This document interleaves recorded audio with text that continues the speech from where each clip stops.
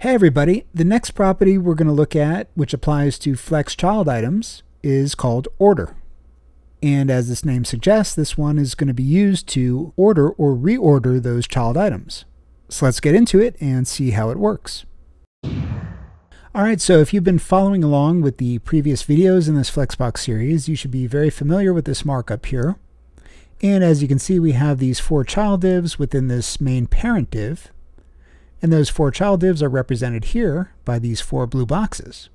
And what I want to point out to you right now is that each one of these child items has some text content with a number. So we have one, two, three, four. And what I'm going to do is I'm going to increase the font size of the text content of each one of those items so we can really see each one. So let's take font size up to 3 rems. And there we go. Now we can see it much easier. So take notice of the fact that the way that these child items are laid out or arranged is in the same order that they appear in the HTML. So we see them here 1, 2, 3, 4, just like they appear here 1, 2, 3, 4. Obviously, if we move 2, for example, to the beginning, we would now see that reflected here in the DOM. But let's put that back. So we have our original order now. And what the flex property of order is going to do is it's going to allow us to reorder these items, but doing it with CSS. So in order to get access to each of these individual child items in the CSS, let's create some additional CSS rules. And we'll use the nth of type selector. So let's do dot child, and let's say nth of type. And this first one will pass in 1.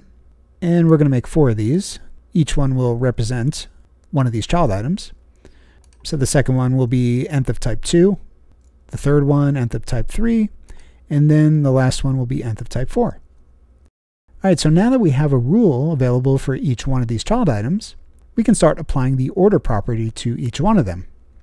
And just before we do that, take note of the fact that the default value for order is 0.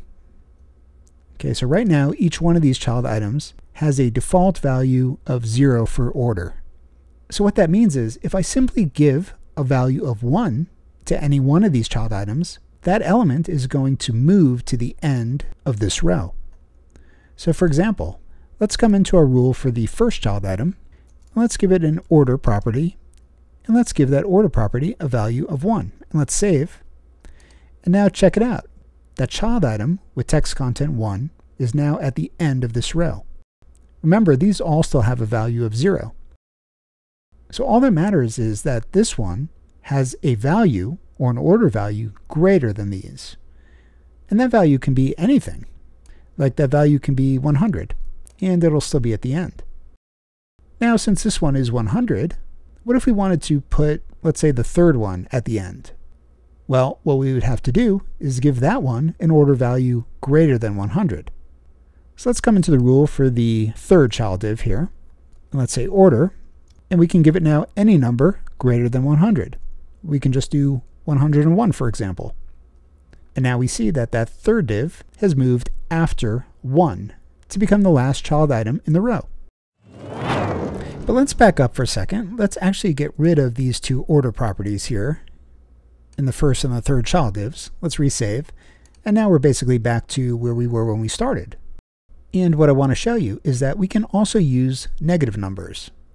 Since the default value is 0 for order, if we use negative 1, we can also take elements that come later in the row and we can move them earlier in the row.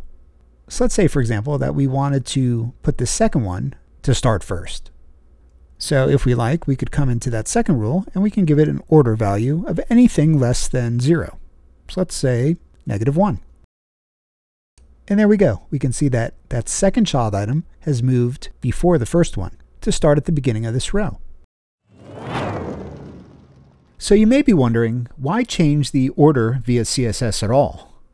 I mean, you could always go into the HTML, right, and change the source order. Well, there are a few reasons why it might be useful to be able to change the order in the CSS. For one thing, imagine a media query where you reduce the width of the viewport, and when you do so, you want those child items in the Flex container to reorder themselves. Well, using the order property on the individual Flex items could be a very easy way to accomplish this. And then there might be certain scenarios in which it's beneficial for the source order in the HTML to actually be different than the visual presentation order. Perhaps this can be beneficial for SEO purposes. Also, when it comes to screen reader users, it might be beneficial to have the HTML source order one way and the visual presentation another way. But at the same time, when it comes to accessibility, we have to be careful because there's many cons to doing this. Changing the order of these child flex items could throw off the reading order or the tab focus order. But this is really the subject for a video in itself.